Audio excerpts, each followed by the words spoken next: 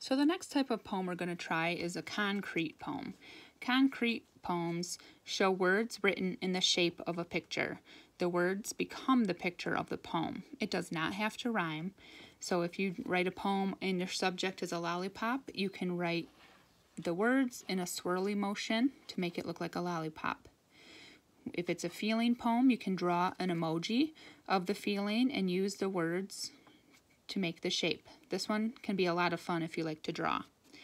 This one is about a strawberry. The sweet red bite-sized treat sits waiting to be picked. A quick, small hand plucks it up and pops it in a tiny mouth. Sticky strawberry juices dribble down from a crooked smile. One more, two more, maybe three. To go along with this type of poem is a book called Doodle Dandies. They're poems that take shape by J. Patrick Lewis. These are some pretty creative examples. Here's one about a giraffe. Tree tall giraffe up to his neck in brown and yellow patchwork quilts, turns tail and hobbles away on wooden stilts. And all of the words make the shape of the poem. This one, I know you can't see the whole page, is a baseball field, and it talk, describes different types of pitches. The sinker comes as some surprise. It dies. The let-up pitch you can't resist, you missed. The knuckler wobbling up to you can dipsy do. The fastball that you hope to poke is smoke. And so on.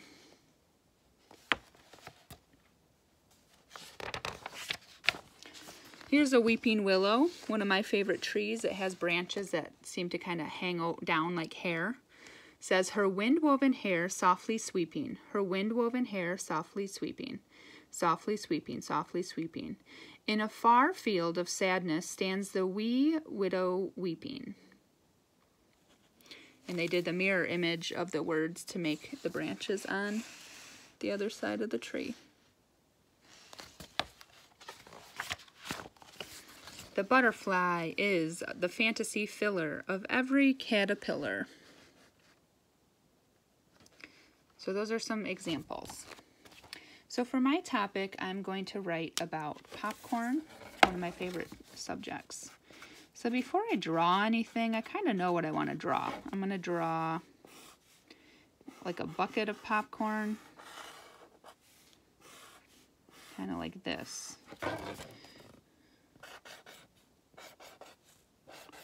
So I already have the sh shape in mind, but I don't know what I'm going to write, so I'm going to kind of brainstorm some words first. So popcorn obviously makes a pop sound. And we'll talk about some elements of poetry like onomatopoeia, which is the sound it makes. Pop, pop, pop. Um, it's crunchy.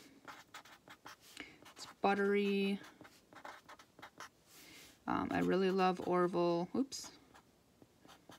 Orville Redenbacher. He was the master of popcorn. Um, it, it has to do with movie night. You kind of gobble it. Um, hot pan with oil. Can't forget the salt. Mrs. Kellstrom's popcorn is not necessarily the healthiest stuff out there. So crunch, you could do munch. Pop, pop, can't stop. Whatever kind of comes to mind can turn into your poem. Once I've gotten finished with brainstorming, then I kind of put it into my poem. So maybe I'll use my longer phrases down here for the container and my shorter phrases like pop, pop,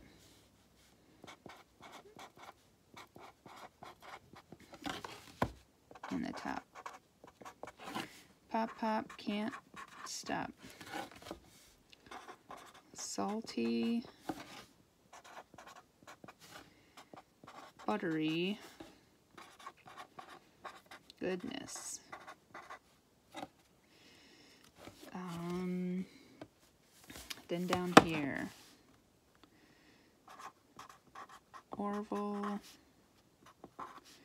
I shouldn't say is, because he's no longer alive, was the master.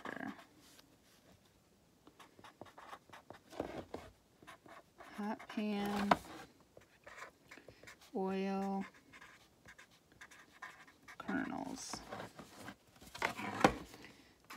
Jump lollipop and sizzle. And I would want to fill in the rest of my lines here.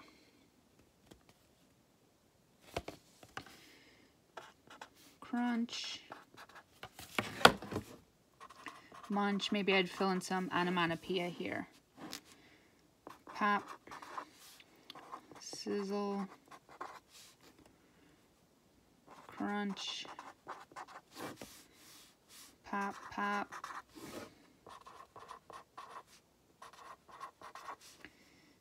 Munch until it kind of makes the shape. So try some different topics. It could be a pet, and you could draw your poem in the shape of a pet.